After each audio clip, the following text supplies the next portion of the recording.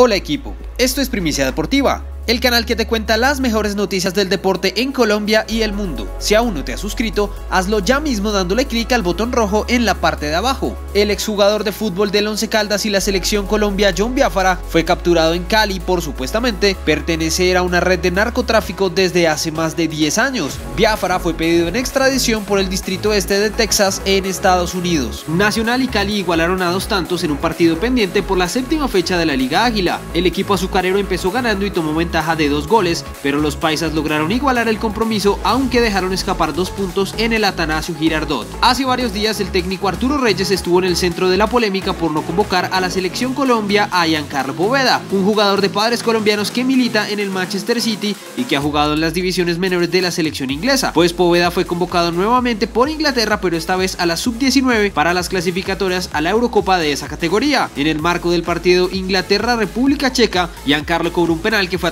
por el arquero rival. Al final los ingleses vencieron 4-1 a República Checa. Paul Pogba y Antoine Griezmann le regalaron a sus compañeros campeones del mundo con la selección de Francia un anillo de campeonato similar al que entregan en Estados Unidos a los campeones de la NBA o del Super Bowl. Eso fue todo por ahora. Si quieres seguir enterado de todo lo que pasa en el mundo del deporte, dale like a este video y suscríbete a Primicia Deportiva.